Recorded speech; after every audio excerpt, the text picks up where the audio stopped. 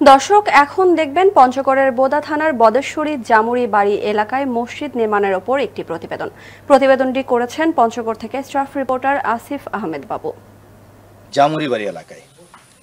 দীর্ঘদিনের স্বপ্ন, দীর্ঘদিনের আশা নিয়ে প্রায় তিনশো সমাজের একটি মসজিদ সেই উনিশশো একাত্তর থেকে এ পর্যন্ত প্রতিষ্ঠিত করতে পারেনি এই অভাবগ্রস্ত এলাকাটিতে। যেখানে সারা বাংলাদেশে প্রত্যেকটি উপজেলায় কোটি কোটি টাকা খরচ করে মডেল মসজিদ বানানো হচ্ছে। সেখানে এই জামুরি বাড়ি, এই ইউনিয়নবাসীর পাঁচ নং বরশসী ইউনিয়নের ছোট্ট একটু দাবি প্রধানমন্ত্রীর কাছে। আশা করি এই দাবিটুকু আমাদের প্রধানমন্ত্রী এই জামুরি বাড়ির মানুষদেরকে উপহার দেবেন। আমার সঙ্গে দেখতে পাচ্ছেন, ঠিক আমার পিছনে দাঁড়িয়ে আছে প্রচুর মুসল্লি, যাদের সিনারি আমি একটু আগে আপনাদেরকে ফুটেজে দেখাতে পেরেছি এবং সেই স্বপ্ন নিয়ে আজকে তারা এখানে দাঁড়িয়ে আছেন। দীর্ঘ দিনেও এখানে কেউ কখনো সাহায্যের কোনো হাত বাড়িয়ে দেয়নি। আজ এই মঙ্গা কবলিত এলাকায় দাঁড়িয়ে মাননীয় প্রধানমন্ত্রীর কাছ থেকে শুরু করে জেলা প্রশাসক থেকে শুরু করে সবিনয় অনুরোধ করেছেন এই এলাকাবাসী অচিরেই যেন এই মসজিদটিকে সুনজরে দেখা হয়। জনাব আফজল হোসেন এই মসজিদ সম্পর্কে এলাকাবাসীর যে দাবিটুকু ছিল সে সম্পর্কে আপনার বক্তব্যটা কি? একটু বলবেন। অবশ্যই আমি সবাইকে সালাম, আসসালামু আলাইকুম রহমতুল্লাহ। আমি আপনাদের সবাই মানে ধন্যবাদ কামনা করছি যে একটা মসজিদের জন্য আপনারা এই মিডিয়া এখানে চলে আসছেন। আপনাদের অনেক অনেক ধন্যবাদ জানাই। এবং এই এলাকার সব মানুষ আমার অত্যন্ত কাছের মানুষ। দীর্ঘদিন ধরে আজকে উনিশশো, আপনার বিরানব্বই সাল থেকে এই যে এই এলাকায় আমি আসি, আমার ইউনিয়নের একটা অবিচ্ছেদ্য অংশ।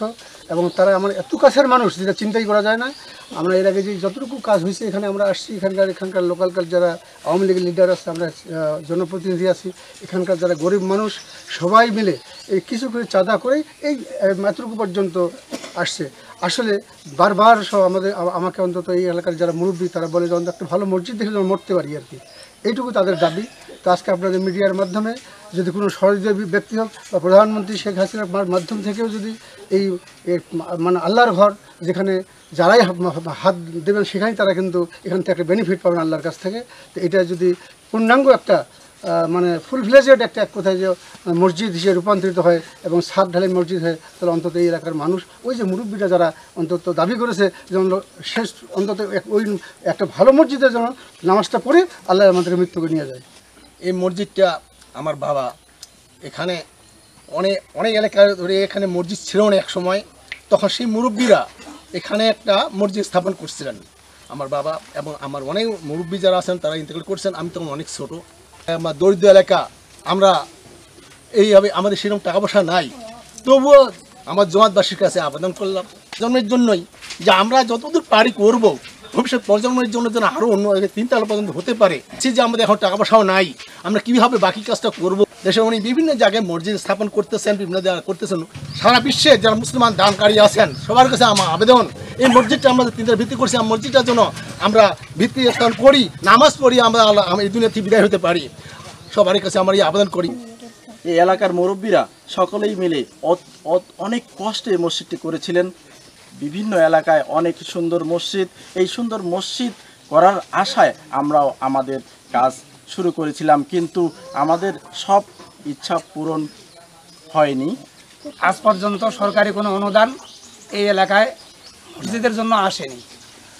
বঙ্গবন্ধুর মানস কন্যা, জননেত্রী প্রধানমন্ত্রী শেখ হাসিনার কাছে আকুল আবেদন করছি।